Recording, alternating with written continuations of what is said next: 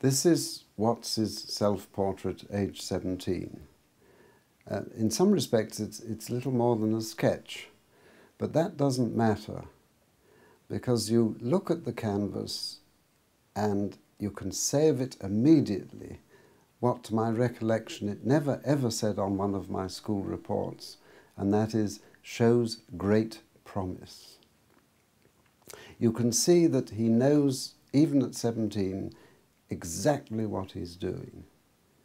The way it's positioned on the canvas, the way the, the, his, his jacket is drawn in, and you can see that he's lost patience with it. I've always had a, a, a little theory that he was whiling away a wet afternoon.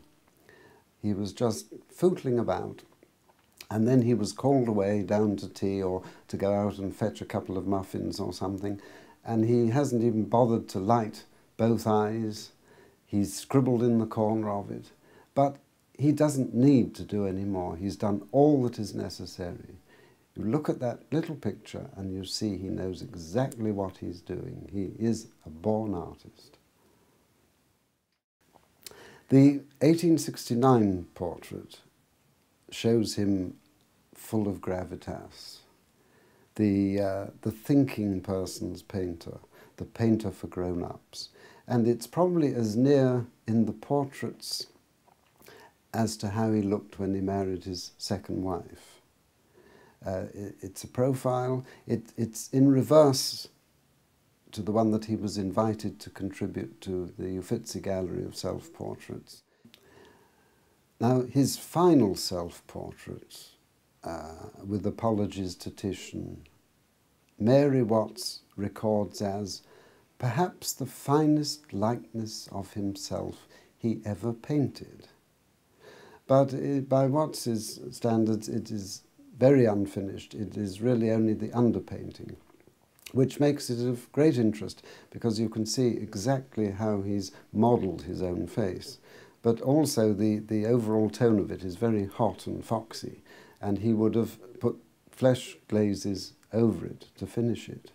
But looked at at the right angle and hopefully in the right light, it somehow does that itself. And I must say, one day I caught a glimpse of it out of the corner of my eye, and it made me jump. I thought the dear old boy himself was actually sitting there, and I understood exactly what Mary Watts meant. And it was painted late in 1903, uh, which is only a few months before he died.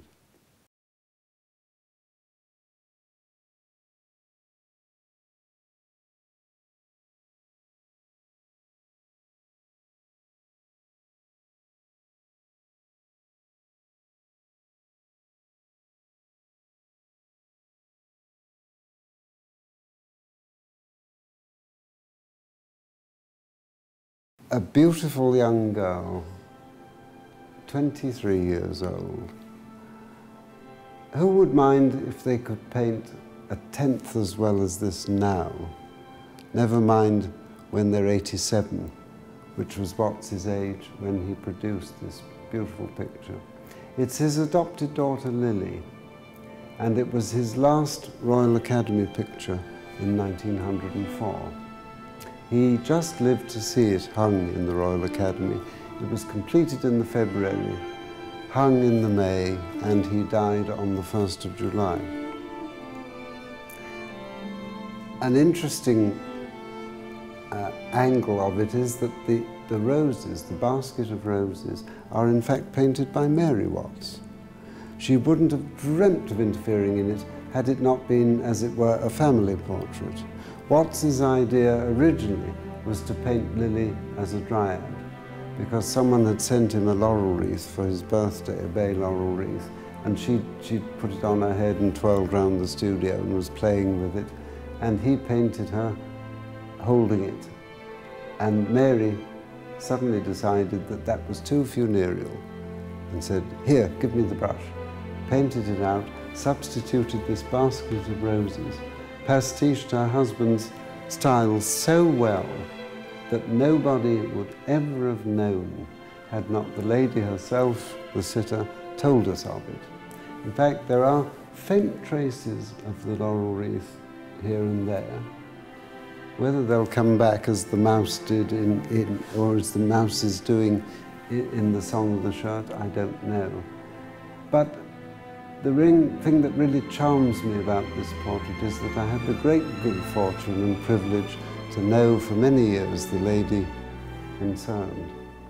She wasn't a beautiful young girl, she was a beautiful old lady. And in her last years she visited the gallery quite often, and it was as though she'd come from another planet, which indeed she had, in a manner of speaking.